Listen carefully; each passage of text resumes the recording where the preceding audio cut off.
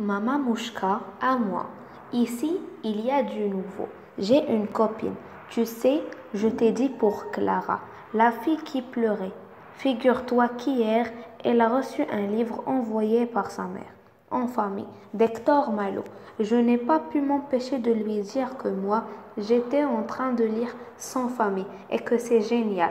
On s'est promis qu'on se prêterait nos livres, mais on ne pourra sûrement pas le faire à la colo, parce que c'est gros livres écrits petits et qu'on n'a pas assez de temps pour lire. Depuis qu'on est devenus amis, on préfère bavarder pendant le temps calme, une espèce de sieste.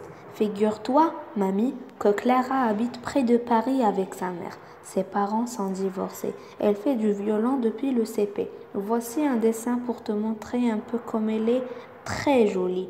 Elle a le, elle a le même âge que moi, mais elle, elle est née en août. Ça l'embête drôlement parce qu'elle n'a jamais ses copains à son anniversaire. Elle fait toujours une fête après la rentrée et elle a promis de m'inviter. Ça n'a rien à voir, mais tu crois que la frange m'irait bien? À moi aussi. Les poneys, c'est superbe.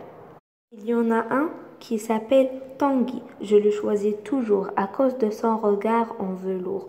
J'irai Gaspard, mon ours. J'aurais dû le prendre en colo. Il y en a qui ont leur peluche, mais maman trouvait que ça faisait bébé. Je t'embrasse très très fort. T'as Ludmina qui va mieux. Elisabeth Brami, trois fois loup, copyright Le Seuil Jeunesse 2014. Maintenant, j'expliquerai les mots difficiles. La frange désigne la mèche de cheveux qui couvre le front et s'arrête jusqu'au-dessus des yeux. En velours désigne tout doux.